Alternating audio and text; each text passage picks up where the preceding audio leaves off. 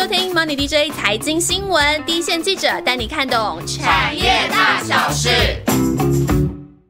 太多听众朋友敲完想要听到底怎么看财报了，而一档股票好不好，可不可以买？很多人都说财报就是企业的体检单，可以判断公司健不健康、赚不赚钱、财务体质又是怎么样。但是这些数字背后的意义是什么呢？是不是常常让你没有头绪呢？今天我们就来跟大家一起做功课喽。我们今天邀请到 Money DJ 团队里面号称财报明灯的小佳。嗨，Hello，大家好，小佳，不知道你还记不记得我刚到公司的时候，也是你教我看财报的，真的好久以前。但是我还记得那个时候，就是把某家很某家公司很厚的一本年报拿出来。然后就每个表每个表这样子慢慢的学着来看哦。对啊，庆祥学的超快的。所以呢，我们要了解一家公司呢，我们真的是要从它的财报开始。那财报最容易取得的呢，就是像比方说我们的年报，那里面就会有很多的表。那我们把这个每个表呢来一起来看来检视的话，那就可以大概是了解这个公司的状况。但是呢，每个表它也有不同的意义，所以呢，也不能用只看一两个数据或是一两个指标，我们就来评断。所以，我们学财报这个系列教学，真的是用系列教学的概念来跟大家说，可能会更全面。那我们今天也不要急，我们就先让听众朋友大概了解一个概念方向，还有跟企业赚钱能力最为相关的损益表。到底这个表里面藏了多少的 mega 呢？我们在讲损益表这个表之前，到底这些财务报表三表有哪三表？分别又有什么指标意义呢？我们一般在看财报的时候啊，通常呢，我们就是会先看第一个就是它的综合损益表嘛，然后第二个就是资产负债表，然后再来一个就是可能现金流量表。那综合损益表的部分，我们主要就会去看它的，比方说像是营收，然后它的毛利率。它的营业利益率啊、税后净利这些状况，那这个大概评断的就是这一家公司它赚钱的能力。那再来呢，就是资产负债表的部分，我们可能会去注意到它的呃账上的现金、约当现金，还有它的应收账款、应付账款啊，还有它的负债啊、长短期的债务这样子。那我们可以了解这家公司它理财的能力。那再来呢，我们还是有时候也会去看它的现金流量表。那这个现金流量表，我们通常，呃，其实它有很多项目，但是我们比较会去看一下它的营业活动和投资活动产生的现金流入流出的状况，我们就可以大概了解一下这个企业它。那一期的它的现金的流向大概是什么样的状况？哦，所以三个表其实还有各自不同的含义了。嗯，而到底这个企业赚不赚钱，我们是不是先从损益表来看？而且损益表里面其实是不是有藏着股价的秘密呢？对，我们一开始呢，最入门呢，通常呢就会去从这个损益表来看这家公司的状况，没有错。那损益表呢，它可以反映出这个公司呢，它每一期的呃营业收入，也就是它销售产品。或是它销售它的服务，服务它产生的收入，然后呢，也可以看到它的成本结构，然后它看到它的营业费用的状况，费用支出的状况，然后呢，就会产生它的毛利率、营业利益率、营业。利益，然后还有它的业外收支的状况也可以看到，然后最后再扣再加上那个税务的考量，然后呢，最后就得到一个这个税后盈余，然后每股盈余这样子。哦，所以这么多指标，你有没有有点头昏？你可以 想象一下哦，假如你假如我们今天是一个牛奶公司的老板好了，那假如你今天卖了一瓶牛奶是一百块，所以公司的营收也就是一百块。那其实我们看到这一百块的营收，它背后的意义是什么呢？我们看到这个数字，我们要怎么判断？哎，一百块这个数字到底好不好呢？当然，如果你说你是一家牛奶公司的老板，那你今天点啊，你今天卖了一瓶牛奶，它是一百块，那你这个一百块并不是你全部是你赚的，因为你要。产生这一瓶牛奶之前，呃，也许你有一个牧场，你有养牛，那也许你不是，你是买了人家的乳源回来再分装，但是总之你这中间都会产生很多，不管是包装材料啦，或者是你去处理消毒这个牛奶而产生的呃成本，那这就是你的成本，就是你的营业成本，然后再加上要有人去帮你把这瓶牛奶卖掉，你肯定有业务员。对，然后你肯定有通路商、经销商，所以呢，你还要再扣掉你的营业费用，然后最后才是你真正进到口袋里的钱，才是你赚到的钱。所以呢，我们常常在说，营收的规模其实也没有所谓的多多大是好，还是说多少是不好，因为每一家公司它的产品业务跟成分的组合其实都是不一样的。那通常呃，我们会用绝对金额和每股营收去跟同业来做比较。比方说跟你做同样的呃同样的这个都是卖牛奶的，好了，有人他的股本只有一百万。有人股本一千万，可是如果你们做出来的营收差不多，当然一百万的比较厉害啊，因为做出卖出一样多的东西。但理论上是会这样子，所以我们通常会用每股营收去衡量这家公司它的营它的营业的能力，这样子就是用年度营收去除以它的股股股本，大概是这样的状况。大家就可以知道它，对对，大概了解一下它的资本运用的效率，这样。嗯哼，所以其实刚刚讲到，我们也可以跟同业比较，或者是用这个每股营收的状况去看运用的效率。那这个产业的淡旺季是不是也很重要呢？比方牛奶可能是夏天大家比较想要喝，这是它的旺季嘛？那产业的淡旺季是不是很重要呢？产业都是有淡旺季的。那像我们台湾，我们最关心的就是像什么电子业。那电子业一般来讲，可能就会下半年比较旺。对，那这可能就跟呃，比方说消费能力比较好的欧洲啊、美国市场啊，那他们的那个下半年通常会有一个这个可能感恩感恩节的销售旺季啊，或者圣诞节的销售旺季这样子。那比方说石化纺织，它又是不同的情况。那如果你把每一季的营收跟前一期来做比较呢，是可以看出它的季节性的变化。那如果但是如果我们要看它的成长动能，通常我们还是会跟前一个年度的同一个时间点来做比较，这样会比较准。哦，所以营收的增加其实也不代表这个公司真的很赚钱哦。像刚刚小佳有提到说，可能中间有些成本啊，一些业务员啊，这些 等等消毒啊，这些可能都算成本的。比方说它的成本要八十块，那它的毛利是不是一百减八十等于二十嘛？所以毛利率就是百分之二十。所以我们知道它是要不要赚，是不是赚钱，是不是看毛利率这个指标会更重要呢？嗯，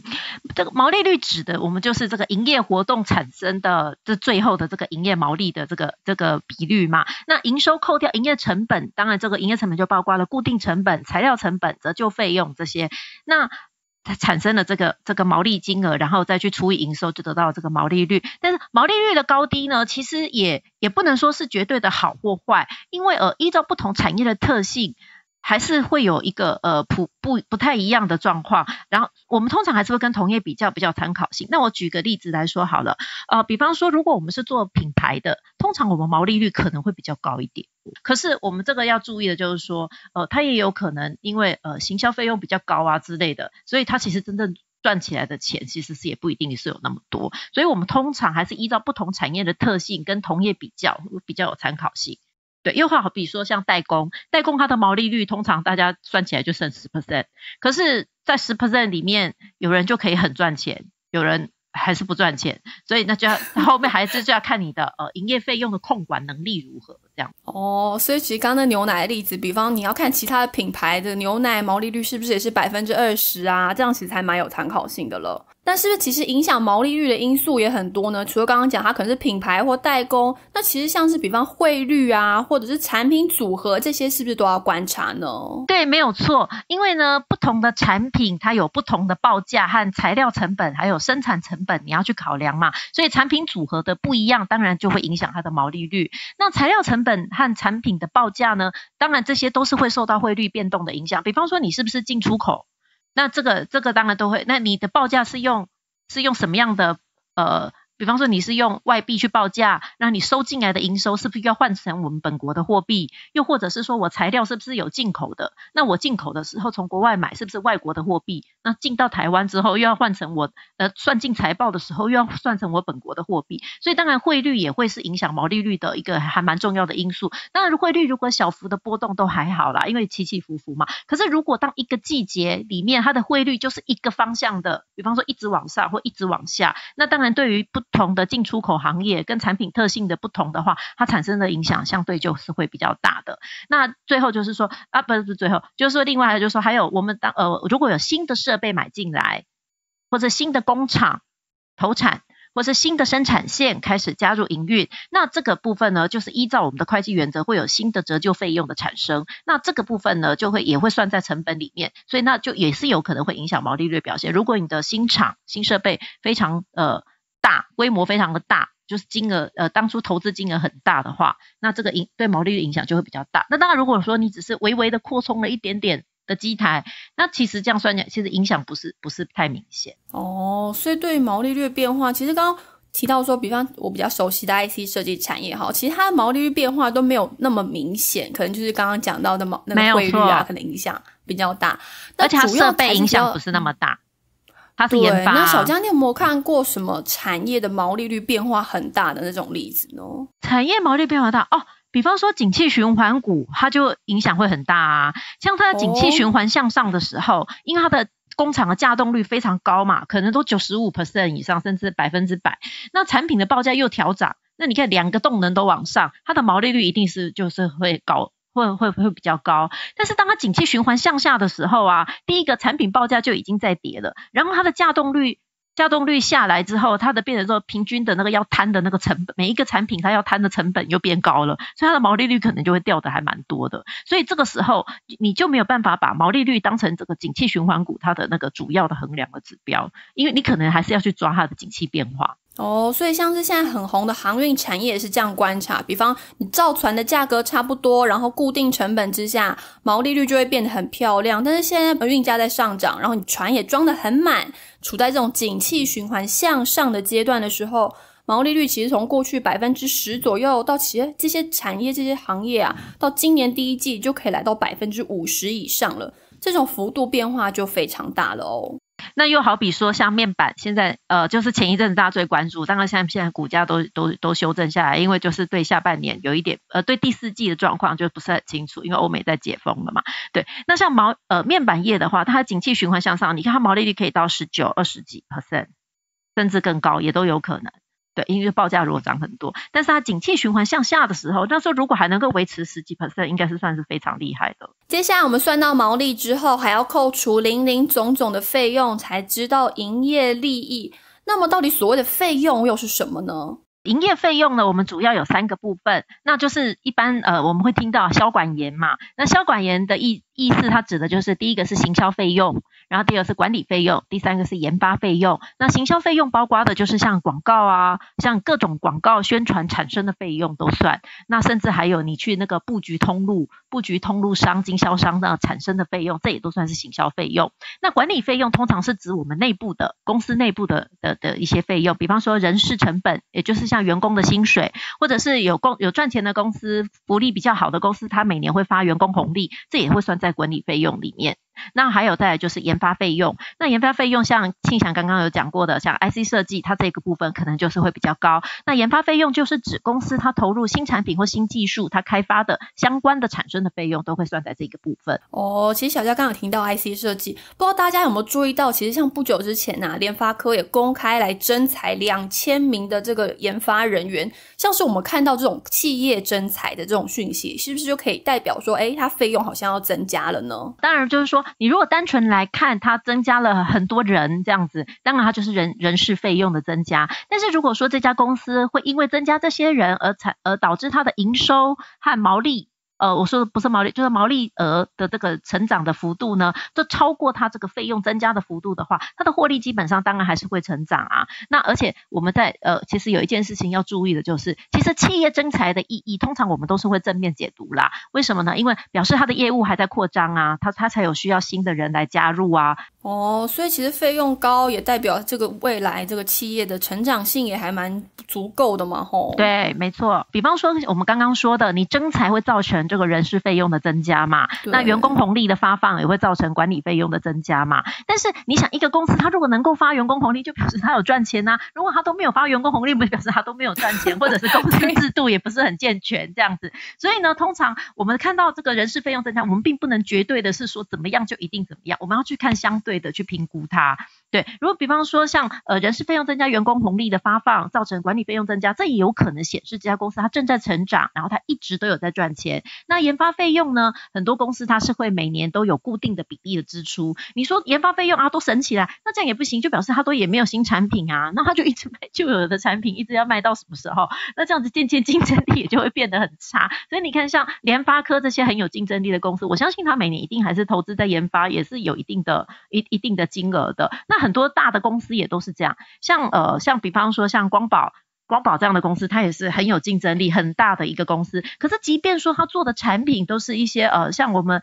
我们觉得说一些电脑周边呐，或是一些光电零件呐这些东西，可是它每年还是都有用它的营收提拨大概四 percent。的那个比例来做研也来做这个研发的这个支出，所以其实这也是非常可观的一个金额。那这表示公司它一直有去呃追求新的产品、新的技术的这个呃这个企图心，而不是守在原地。所以这样的公司当然还是我们还是会正面解读。哦，所以要用费用率还是用绝对金额看呐？因为其实刚刚有提到说，可能它是用提拨的概念，也有可能它是。呃，固定，比方每一年增加多少 percent 的费用，绝对金额吗？其实每个公司的策略应该不太一样哦。对，每个公司的策略它会不太一样，所以我们通常会把营业毛利率和营业利益率搭配一起来看，这样子会比较有意义。毕竟我们最后要看的是这家公司它最后到底赚钱的能力好不好。也不是说一个就很或者一直都很高，然后其实赚的钱一直都非常的少，这样子也没什么意义。对，一直他一直很努力的投入研发，然后一直都也没有赚钱。那当然也有这样的公司，我们这里就不。我们这里就千万不能举例这样子，对对。但是确确实是有这样的公司，他每年投入非常多的研发金额，然后他的营业利益都非常的少。呃，那这样子当然也不会是我们大家觉得很想去投资的公司，只能说他有一个梦。对对对，所以呃，然后还有说像是品牌呃经营品牌的公司，它可能毛利率很高，但是它其实广告它广告的行销费用也非常的高，最后它的营业利率还是不还呃可能还是不一定高，还是说也很高，那这个就是很不一定，所以我们还是要看呃整个比例呃这这整个每一层这样算下来，我们直接要看到营业利益，这样这边可能还是比较准的。它到底有没有赚钱？所以看起来不管是毛利啊、费用，这可能是一个过程。但是我们最后一定要看到最重要的就是营业利益率这个数字，应该是更重要的，对不对？对，其实营业利益率我们就是要去看它的营业利益嘛，对不对？因为营业利益率指的其实就是把营业利益这个去去除去去除以那个营收产生的嘛。那营收扣除了刚刚说的营业成本之后，就是营业毛利。那营业毛利。就是那个金额了哈，在扣掉了营业费用之后呢，就会得到营业利益。那这就可以看到这家公司它靠本业赚到的钱到底是有多少哦。所以那我们通常在看到营业利益或营业利益率这个数字，我们要怎么判断这个数字到底好不好呢？我们可以用营业利益率来跟同业做比较。因为你用绝对金额也不准，就是我刚刚开始讲，因为公司规模大小不一样嘛，对不对？有的公司可能营收是一千亿，有的才一百亿，但是它最后算出来的每股盈余，也许搞不好那个一百亿的还比较高。对对对，所以我们这个我们就不要看绝对金额，我们通常就是用营业利益率去跟同业做比较。当然，基本上都已经到营业利益了，刚刚你的成本费用也都考量过了，到了营业利益率这一块了，当然基本上如果跟同业比较，当然是越高是越好啦。但是我们。也要注意一下，就是说，有时候有一季公司，比方说它这一季的营业利率突然二十几，但它不见得会每一季都二十几，说不定要下一季又剩六，剩六不会不会？当然也会有这种突然不赚了。对对对，比方说它这一季它可能某一样的费用它都没有支出，或者下一季它突然提列了巨额的员工红利啊。比方说，对对对，有可能他第一季营业利率很高，第二季对，就但是当然，其实我们刚刚有讲过，正常的公司它提拨这些东西都不至于造成巨大的影响。所以如果你看它的营业利率率，也不一定是季节性或怎么样，就是它就是忽高忽低的这样子，每一季也都不太一样，然后理由又各式各样都有。对，可能还不止我们刚刚讲的那些正常的理由，它可能还有更多奇怪的理由。那这样的我们就要小心。对，因为基本上一家公司营业来讲，它的它的变数本来就是会很多，但是如果说变数多到会让它的盈获利状况呢剧烈的起伏的话，这样子当然我们在投资上的话还是会尽量避开啦。基本上我们还是以稳健的获利表现会比较好，例如说每一季都可以稳定的比同业高多少这样。哦，所以营业利益其实我们就是刚刚讲到的本业了嘛，也就是公司透过本身的业务发展它赚到的钱嘛。但是呢，我们接下来看到是不是还有所谓的业外这一块，这种非本业的损益影响的条件好像还蛮多的吼。没有错，其实有有时候呢，业外的影响搞不好比本业还巨大，因为有些公司你就会发现它那个到了税后净利跟那个营业利益是差非常多的，那可能就是因为因业外影响。那为什么会这样子？因为其实呢，业外它呃业外它的那个项目真的是非常的多，但是有一些呢也不见得说都是不好。呃呃，也不见得说都是不太好，但是我们就来看看业外到底有哪些项目。比方说，我们最常看到的，像汇率一波动，可能就会产生汇兑收益或汇兑损失。那这就是公司的它的资产总是会有一些外币的部位嘛。那因为汇率变动，然后再换算回我们的财报上的本地的那个货币的话，它就会产生一个差额，那可能就会造成它有汇兑收益或损失要来认列。然后再来就是利息的收入。那利息的利息的收入呢，就是呃，比方说有些公司它现金非常的多，它可能存在银行，然后它的那个呃它的利息收入就是还蛮固定很多的，那这个算是好的。比方说呃像像中中强光电，然后像大力光电，他们的现金都非常的多，那所以呢，他们每一季呢都有稳定的这个利息收入这样子。哦对，然后还有一种叫租金收入，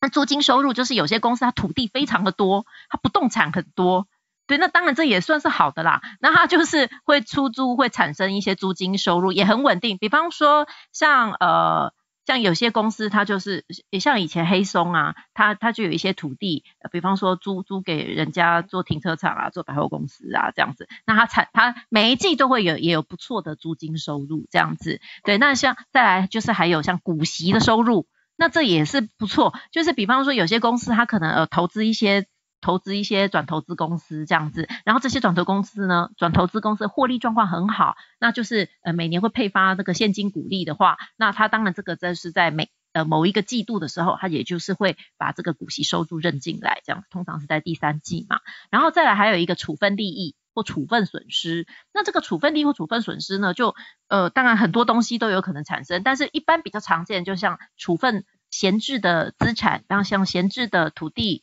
啊，没有在用的厂房，或是一些不呃呃，已经比方说他搬家啦，他原本的那个办公室是他自己的，然后不也不需要了，他就把它卖掉这样子。那或者是一些有价证券，就是像那种他转投资一些股票，他把它卖掉，那这都可能产生处分利益或处分损失。然后再来还有就是像金融评价损失或利益，比方说我没有卖掉。但是这个转投资公司它的股价有剧烈的涨跌，那我可能就会去认它的这个投资呃金融评价的这个投资收益这样子，呃比方说比方说像我们的呃有一家的 LED 呃就是一家感测元件的大厂大厂像鼎元光电，它就持有蛮多的这个惠特，那惠特是这个 LED 设备公司，那这个惠特的因为它那个股价呢在去去年呢算是涨蛮涨的。涨蛮多的，股价走势还蛮不错的。然后像鼎元持有它，因为是非常久以前的投资，所以它等于说这一波它就认，它就可以认列一个那个呃评价利益这样子。对，然后还有再来，很有投资眼光。对啊，那也是投资的很好，而且这也算是他的本业相关的，因为他做 LED 设备的，呃，挑拣本点就是点测这点测机这些相关的设备嘛。然后再来还有一个是权利金的收入，那权利金的收入有时候也是有可能非常高，高到可能搞不好都超过本业。那就比方说像元泰科技，像电子纸这个元泰科技，它在以前，它在以前它的就拿下了这个。呃，一个这个广视角专利技术，呃，面板的广视角专利技术的一个这个全的这个专利，然后呢，它就是呃，变说这个专利呢，因为大家都会用得到，所以呢，它在授权给各个面板厂，然后在面板厂在就会呃依照他们销售的数量啊，然后就要就就会变说要贡献这个权利金回来给这个呃元泰科技。那像元泰科技，它每年的这个权利金收益都有两呃，比方说它高的时候有到二十几亿哦。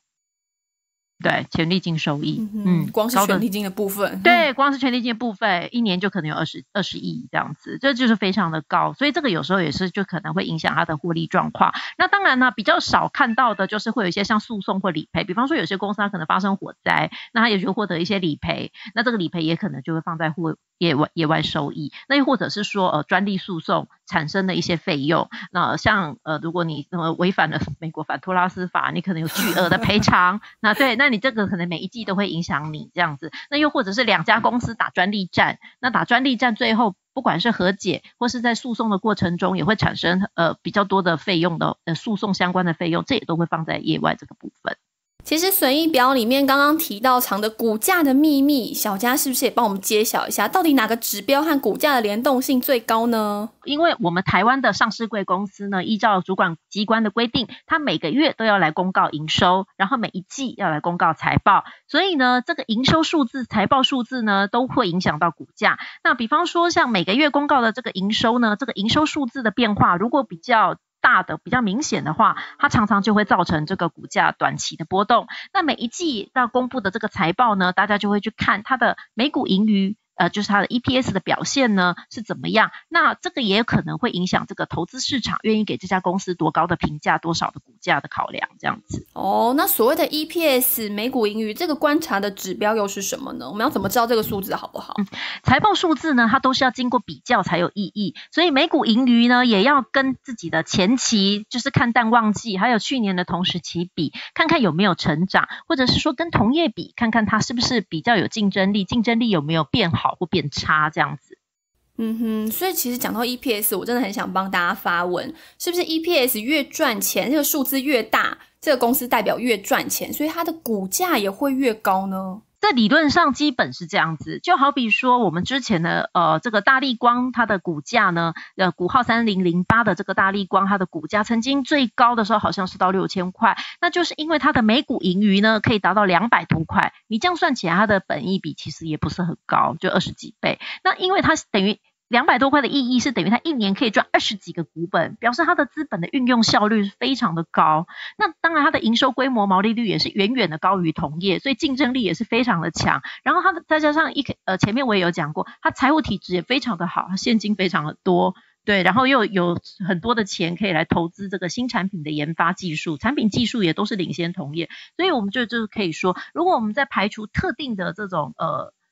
特定的这种买盘炒作。来看的话，我们这个因素就不去考量它。我们以正常来讲，股价反映的，呃，确实就是一家公司它的经营绩效和它的财务条件越好，它的股价，它的那个 P，它的那个本益比是有可能就是会比较高。哦，但是啊，这个。损益表这些数据判断其实也只是第一步嘛。嗯，就算这个营收、每股盈余都在向上趋势的公司，我们看起来它的状况很好，但其实它背后是不是有些隐含的风险呢？接下来就进入我们的彩蛋时间。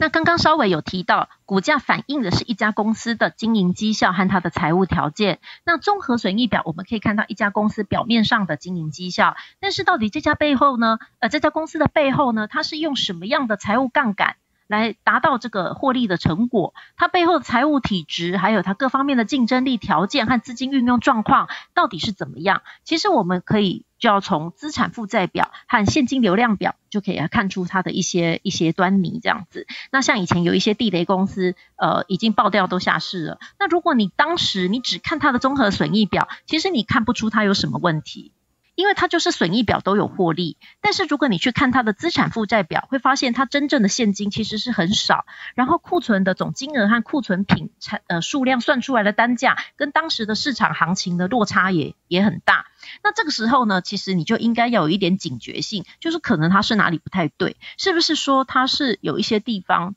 的账其实不是反映真实？那基本上一家公司的经营呢，如果它现金很少，长期下来也几乎都会有问题。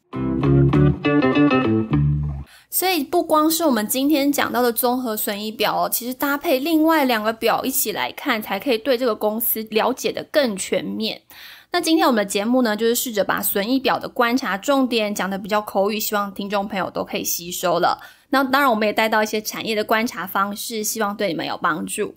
那么，其实，在听我们节目之外，这段时间呢，大家都在家上班嘛，或者是你可能在家的时间比较多，那我们是不是可以用一些工具，我们自己来学着看财报呢？呃，看财报呢，它真的是需要花一些时时间。当然，你要初步的学习，不管你是去你是去学校上课，还是你去上一些呃呃已经。社会上的社会社会课程，或者是说你自己去研究，它都是需要花一些时间。不过我们基本上呢，最简单的入手方式呢，就是我们这个台湾的证券市场呢，有很丰富的这个资源可以来使用。第一个就是这个证交所的股市观测站，那股市观测站里面，你就可以查到它每一季的财报，然后每个月的营收，甚至它的每一年的年报，你都可以，你都可以去去找到这个资讯。那上市贵公司的年报的取得呢，除了刚刚说的股市观测站之外呢，如果如果你是自己有投资的公司，其实你你如果去参加股东会，它现场也都会有纸本的这个年报，可以你你可以带回去慢慢的研究这样子。那还有一个也很简单的方式，就是我们这个